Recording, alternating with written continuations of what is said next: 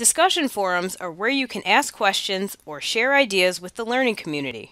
To post to the learning community discussions, click Discussion Forums on the left navigation panel.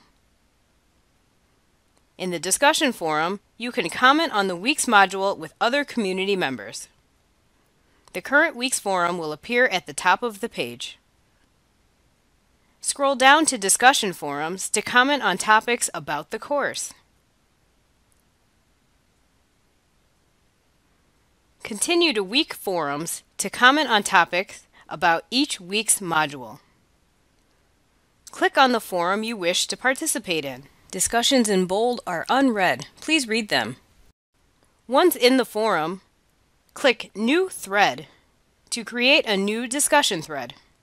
Select a discussion already in progress to comment on an existing thread. Type your comments in the text box and click Reply to add to the discussion.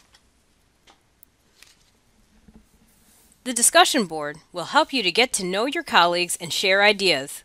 Discussions also fuel collaboration and help engage learners, especially in our course. The easiest way to understand how the course will work is to be active and explore it for yourself. Good luck and enjoy your learning experience.